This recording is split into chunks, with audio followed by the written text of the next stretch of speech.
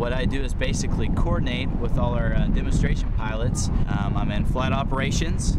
As you see behind me is the project that I've been working on this summer. It's called ACAT. What it is, it's uh, F-16 is our test bed, and we're doing GCAS, which is Ground Collision Avoidance System. So right now we're in the demonstration phase, and uh, we'll be wrapping this program up very shortly and giving the jet back to the Air Force side. And uh, we basically look at uh, what we need to change, uh, what we're doing good, stuff like that before it goes into full production mode next summer on all F-16s. This is my second rotation, and this is exactly what I want to do.